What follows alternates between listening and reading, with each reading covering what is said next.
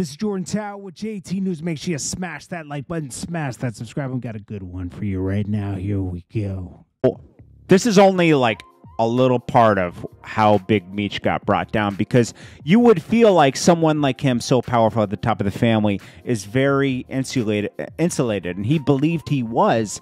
This was part of the reason for starting BMF. You know, for starting the name BMF. He wanted to move into legit music, so that was his escape plan.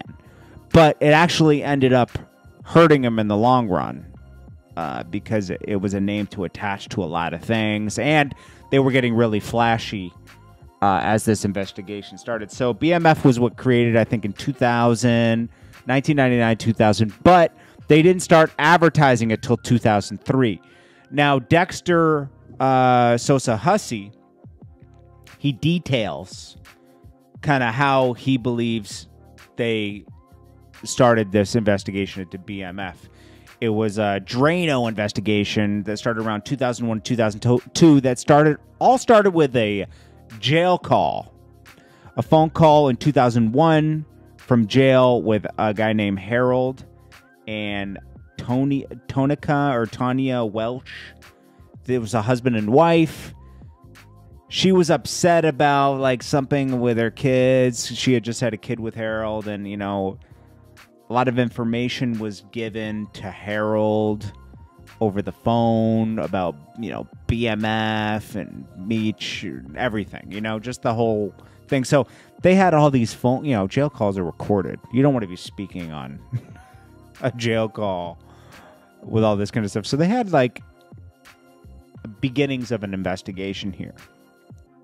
Now, Big Meech was brought down with a series of snitches, and it all starts at the bottom. So, if you know BMF, they were like the suppliers in the USA. They were get they had a direct connect to Mexico, and of course, I'm sure that it started in Colombia, made its way to Mexico, and then you know, so you know, there's so many levels before uh, a custy gets his little, you know, eight ball, whatever, you know. So it's like, uh, they were getting, yeah, they were moving like thousands of these keys, you know, and these low level dealers were picking up from another guy. Okay, so it all starts with these like low level dealers. Now, this is around 2003, 2004, right here, when this all this stuff starts to connect and lead the feds to Meech. Around this time, Meech has billboards up in Atlanta. BMF is yours, all that. Uh, they're pushing Bleu DaVinci as their artist.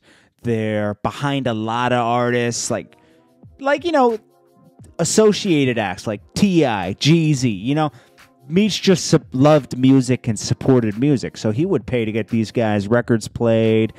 You know, Meech controlled the club scene. Uh, Buckhead in Atlanta, it's all buildings now, but it used to be just the the club scene in Atlanta. There's still a lot of clubs around there, but it used to be the club scene. You know, like in Meech was buying out these clubs like every night. He'd go to a different club, spend you know fifty grand, a hundred grand. Everybody had, you know, he was making it. You know, he was going to Strokers. He, that that's not in Buckhead, but he was going to like Strokers also, and uh, pinups. You know, the, these strip clubs because a lot of records were were broken in the strip clubs back then. You know, as well.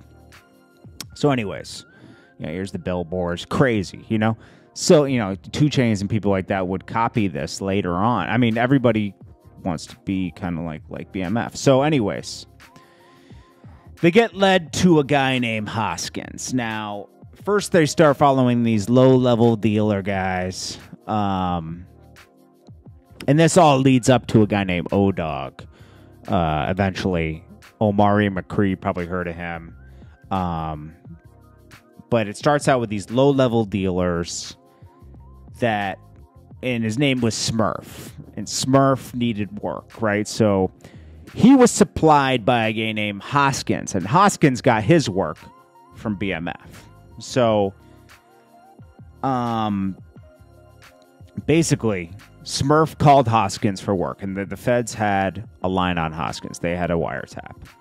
So he calls him for work. You know, is everything everything? Da da da da. They go back and forth.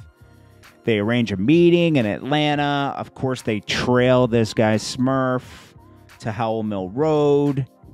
Um, he's tar- you know, he's tailed by the feds, and they, you know, they get a a line on Hoskins now. They know what he looks like. Um, they're able to follow where he lives. I think they even met at his apartment building, which is crazy. Okay, like so now they're able after a few days to tap Hoskins' phone.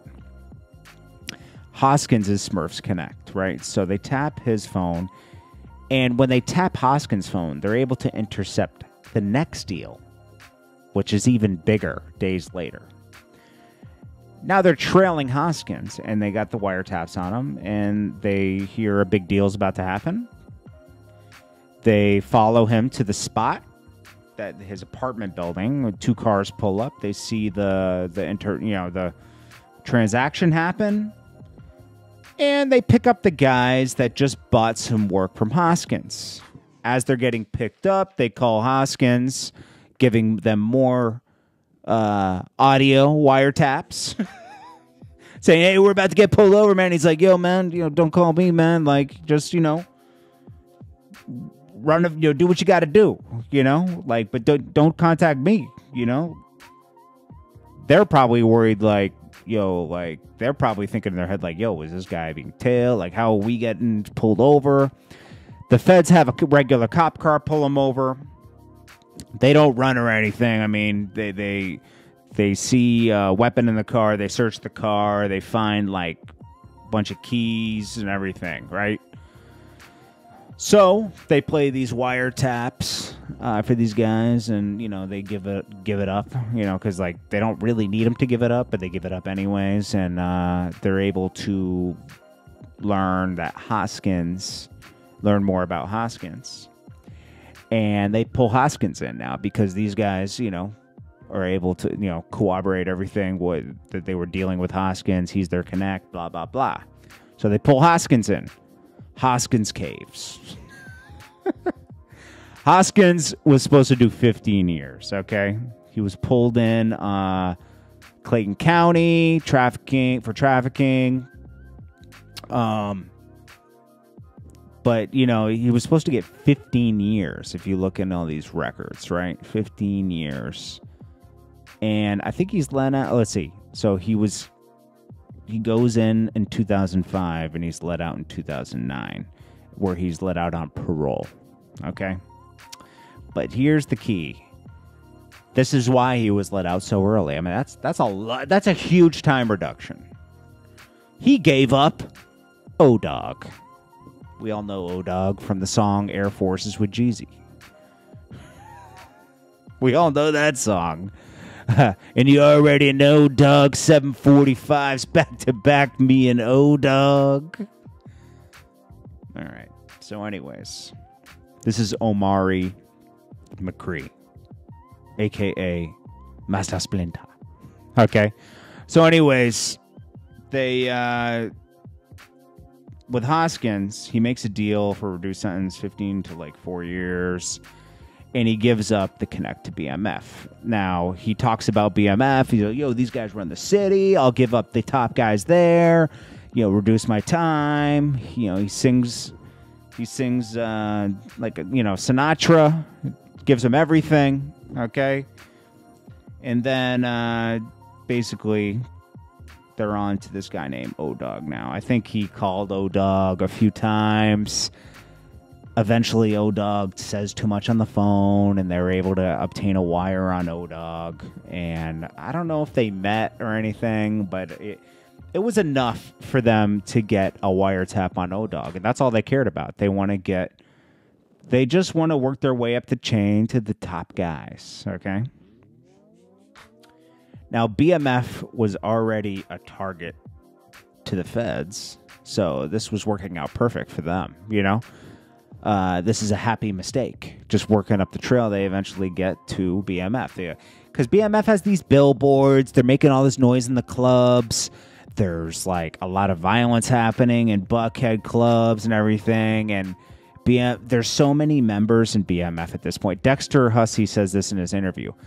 He was upset with Meech because Meech had so many people around. Now, Hussey's been with him since Detroit, since the beginning. 50 Boys, right? 50 Boys was in the 90s, right? 80s and 90s. And now it's early 2000s, and Meech has probably two, 300 people around claiming BMF. You can't control 300 people, man. And you can't be completely insulated. Plus, he's also trying to make things look good when he goes to the club. I mean, they're going and I mean, I know you've seen Jeezy's old uh, DVDs before he got on. I mean, and, and you've seen the Smack DVDs with Bleu DaVinci in them. You know, they had Ferraris, they had Lambos, they had Rolls Royces. Everybody was driving a car that cost at least $150,000. So, anyways, um, let's move on with O Dog. Okay. Even in the genius notes, it's so funny. They're like, O Dog's nickname was. Uh, was his nickname. Omari McCree is a well-known member of the Black Mafia family cooper- uh, operation. O-Dog is a snitch, partly responsible for bringing down B. I love these notations because people make them. He served five years of 15-year sentence due to testifying against Big Meech. He actually didn't testify. Uh, he just gave him. I don't think he had to testify. He gave him enough information to lead him to the next guy, to the next guy. You know, it's just a big chain of snitches. Okay. Here's the Air Force's video. You can see even um, that's Bull right in the background. He does a lot of interviews. He he seems like a cool cat. He did his time and came home. Stand, stand he stood tall. These videos also were great for the the feds. They could put names to people and stuff like on the, I think there's a Bleu DaVinci on a on a Smack DVD where he um I don't know if that's O Dog because it I don't think that's Meech. Meech is a bigger guy. You can't tell because the quality's so bad in the video, but uh, this is him right here. So, anyways, um, it that must be him in the video because that's right when he says 745 back to back, me and O Dog. you know. So, anyways, this is Omari, and um, so then basically getting back to this. So the feds are on to O Dog uh, O Dog. This is what happens. So Hoskins calls O Dog. They they make they get enough connections. So now they're they're onto O Dog. Now a shooting happens at a club called Atrium. Okay, this is the inside Atrium. This is the outside Atrium. I don't even think Atrium exists anymore. Okay, I mean this is a club from like 15 years ago. If it exists, it's not the same. Okay, it's just the, the name. Anyways, Atrium shooting happens. O Dog, for some reason, is a suspect. Okay, he gets pulled in. Him and this guy named Jeffrey Lee, or whatever his name, Jeffrey something. They're partners. They're always together. Somehow, Big Meech is dragged in after this at pinups and questioned about this atrium shooting because BMF. There's so many members in BMF that you know, of course, there's witnesses and stuff, and people were like, "Yo, he's a part of BMF," because it was so.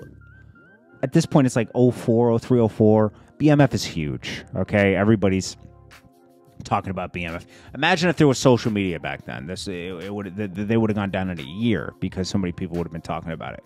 But just the chatter, everybody was like, "Yo, they spent fifty thousand a night." You know, these guys spend money, bro. They were making tons of money, spending money, with a lot of money, and this, there's hate, there's violence, there's just a lot of stuff. Okay, so the the the, the cops and the feds did not like BMF. There was just too much problems, and that's the problem with having too many people claiming one thing. I mean, this is kind of a problem that um, Lil having right now with OTF. I mean, just another guy is getting accused of something today. I heard, you know. So, anyways, uh, when you get that, and then they start building these cases against all these people, you start to become a problem, a nuisance to them, and they want to get the top guy. So, anyways, uh, wiretaps revealed on off of Odog's phone, right? they get these meeting spots that are named, right? the elevator, the gate, Space Mountain, the kitchen. Each one is these spots. They all they have they had tons of houses around of Atlanta. So I guess the elevator was a house with an elevator. The gate was something with a gate. I think it turns out it was a gas station, right? Then Space Mountain. That was I could only imagine that was somewhere near somewhere near Stone Mountain, right? Then you got the kitchen, which is a house. Turns out it's a house with a big kitchen. So after Meech is pulled over in pinups and questioned about the atrium shooting, which O Dog is connected to, right? They know this. Um, he gets out, right? I and uh, he gets out a day later. He bails out, and his assistant calls O Dog, and he's like, "Yo, Meech wants to meet you. He wants to meet you at the elevator." Uh, and he's like, "Why?" And he's like, "I didn't do anything." He's like, "Like, nah." He wants to meet you. He's not going to call you on the phone. Like, he's laying low right now. You got to go meet him. So, of course, the feds follow him and get an idea of where the elevator is. Um, and you know, as time goes on, there's more and more of this questioning about.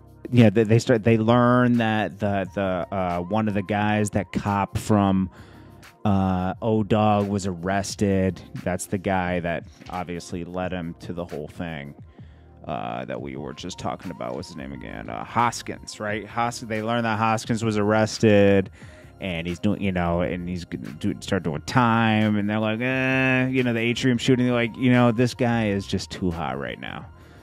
So, and they learned that Hoskins. Uh, that Omari was brought in for the atrium shooting. So they're like, you know what, man, you guys need to chill out. You know, like stop. You know, now Omari didn't stop.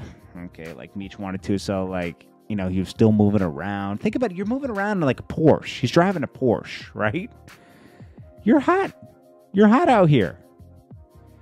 And, and you're you're driving around in a Porsche, bro. Like, not even anything what blends in. So, anyways, I mean, how, who makes plays in such a high end vehicle? You would want like a Honda or something, right? To like, you know, just blend in a little better. So, anyways,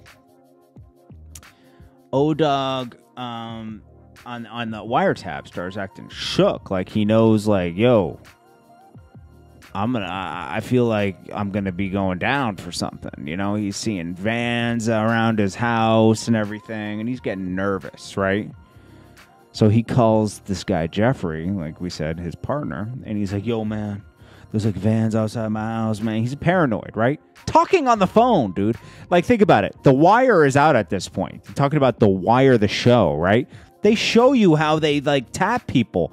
If you study any criminal history or how they took down like the Gottis and everything, it's all wiretaps, bro. Like some form of a wiretap. You should not be doing any talking at all, right? Who turned out to be the smart one on, on the wire? Marlowe, right? Because he stopped talking on the phone, right? He stay he he was doing like codes, and eventually, you know, they break these codes, but like you, you got to keep switching it up. So, anyways, calls up Jeffrey, and you know they're talking about, oh, you got to move these clothes. The feds aren't dumb, you know. They know the clothes probably work, right? So, uh, you know, they scramble. You know, O Dog's driving around his Porsche. Uh, Jeffrey's like, yo, I got a perfect plan. You know, let's keep it at my girl's spot. They move it over there. His girl find Jeffrey's girl finds out about it. She's like, "You'll get this stuff out of here." Ta think about it. They're tapping Jeffrey's phone too, so they're hearing this. Yo, I don't want these. I don't want this here anymore. This is dirty. Da da da. So, anyways, Jeffrey's like scrambling over there. He's calling O Dog. Yo, I got to get this stuff out of here. We got to move it somewhere else, right? So Jeffrey goes over there. His girl's tripping. They take the the ten keys that they had moved from Omari and Jeffrey's spot to her house, and they put it in the car. They're driving off. The feds are like, "All right, this is our time." They pull them over. They get the work, and they release Jeffrey and his girlfriend. right then and there, you know they're cooperating. It's over. Okay, so. uh but they kept the work, right? Think about it. They owe Meech now three hundred thousand dollars. Omari and Jeffrey owe Meech three hundred thousand dollars because they didn't when when when Meech Meech didn't want any you know he wanted nothing to do with that stuff, but nobody went and picked up the work from them, right? And nobody was probably going to because they they were hot, right? So it's like, yo, just it's all you know just call it a loss, you know, like whatever. But still, in their minds, they're like, yo, they're gonna want this money eventually, right? So, anyways, they take the kilos and they keep them. So now, uh, what happens after this? They basically kind of vanish, and eventually, you know, some other things transpire, and they pick up all uh, Omari, aka O Dog, and he's questioned. And he details like you know how he found out about BMF. Well, he said, well, it wasn't BMF in the beginning. 1999, I joined him, and then 2002, I joined what's called BMF, and details the members in the beginning. He gives locations like, oh, they're like, what's this spot? The elevator. Oh, it's a house over here. What's the gate? The gate is where J-Bo. You, you've seen J-Bo recently going at Bleu DaVinci and everything. J-Bo was second in command to Meech. He was like the the guy that was insulating Big Meech, right? So J-Bo was the connect at the gate, which turned out to be a chevron on Roswell Road. I'll show you that right here. Wait, hold on. Let me go back. Turned out to be a chevron on Roswell Road. J-Bo would meet him here. They called it the gate, probably because maybe there's a gate around there. I don't know. They called it the gate, right? Then he details J-Bo works for Meech, and Meech is the one who gives the okay to give the keys out and everything. And guess what? They're just they they from there they got a case, man. You know, they know that Meech is at the top. They know J-Bo's the next guy. They're putting, you know, uh, names and faces together, and and then they start building what you see on a billboard uh, on, on these bulletin boards. You know, the top guy, the next guy in charge. Wait, let me see if I have that. BMF uh, Fed board, maybe that'll come up. I forget what you call it. BMF Fed case. Let's see if they have it. I, I see I see it all the time, but uh, yeah, they, that, that's when they get these bulletin boards where you see like the top guy in command and everything, and you know th- th- this was a big blow to uh, to the whole case, man. You know, it's crazy. And th- at this point, um, I think it's 04 and then they just keep building the case from there. I'll, I'll detail other snitches that took them down later, but this is one of the main ones. O Dog. Dude, you know what's funny about this? Just to wrap this up. This is why mobsters you see in movies take people out because it's like they're gonna flip, man. A lot of you, you people aren't built to do time. That that's the most dangerous thing is that like you got all these people out there and they know too much, and if they get pulled in and they can't do any time, like a lot of people did do their time. Some people didn't, and they they they talk for a reduced sentence, and they they can't even. I think he ended up doing a couple years, and then he was let out. When everybody else got like ten years, fifteen years. In Big Meech's case, 30 years, you know? It's just a lot, man.